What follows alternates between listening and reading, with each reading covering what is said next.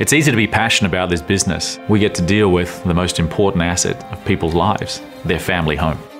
I remember in my grandfather's day the passion and the charisma and the energy around him. He's been a big inspiration to me. When he opened his Maroubra office back in 1928, his first goal was I want to have the biggest agency in Australia. 30 years later, he achieved that.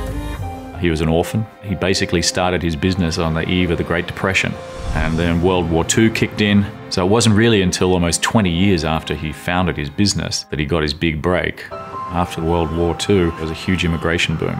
He made very public statements like, I need to help solve the housing crisis. They felt like they were part of something that was more than just a business. They were trying to uh, help build a nation.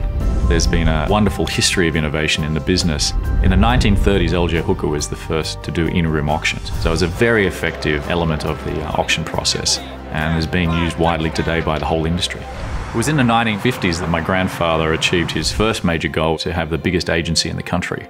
My grandfather was a global citizen early days, but he would spend two to three months traveling the world to find best practices. You read some of his memos and you say, it only took me three days to get to uh, the USA, three days flying.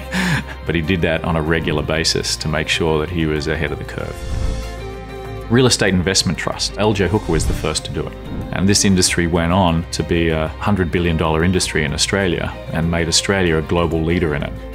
In order to address the national housing crisis, LJ Hooker went on a very aggressive building program, and the largest one during the 1960s was an estate that would house 35,000 people and required building schools, shopping centres, full infrastructure. So it made a meaningful impact on the community.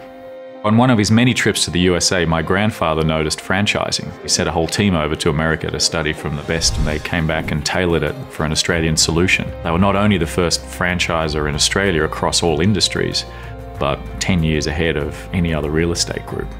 By the mid 80s, LJ Hooker had built one in five homes since World War II, which made a huge contribution to solving the housing crisis. Uh, LJ Hooker was a pioneer in the digital revolution. We had the first industry website, we developed the first CRMs, ebooks, countless apps. We teamed up with two of the largest tech titans. The speed that we're going at now is uh, breakneck. It's very, very exciting. My grandfather used to say quite famously real estate is not about houses, it's about people. The success of LJ Hooker has been purely a function of its people. And there's 7,000 people wearing the LJ Hooker badge, and they all wear it with pride. And to see their passion for the business is very contagious for me.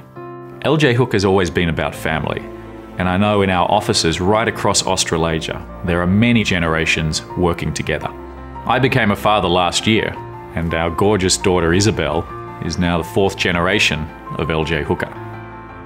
We have such a solid foundation and uh, innovation in our DNA. Our future is looking as strong, as exciting as it ever has.